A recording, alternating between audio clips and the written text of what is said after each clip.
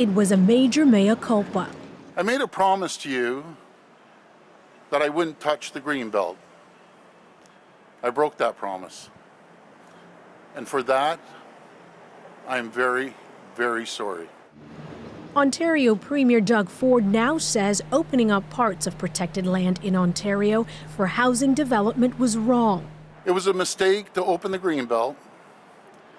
It was a mistake to establish a process that moved too fast. It's an admission that echoes two scathing independent reports that found the process favored a small group of well connected developers that stood to gain billions. It never should have taken a series of scandals from this government for the premier to undo the damage that he's done.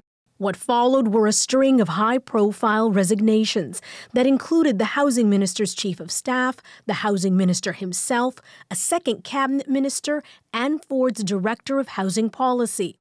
What do we want? Greenbelt! For those who fought hard against the move, this reversal is a victory. It's a great day for the people of Ontario. You know, we've had tens of thousands of people trying to make this day happen, and uh, finally it's, it's, it's come to pass.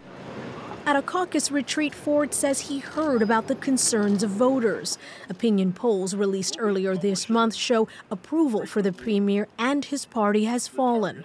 The reality remains that there's still a variety of other mistakes that he still needs to rectify to both address the housing crisis in Ontario, but also to restore faith in his government. Really excited. Ford says he's confident nothing criminal took place. The RCMP continues to look into the matter, but has yet to determine whether it will launch an investigation. Idil Mussa, CBC News, Toronto.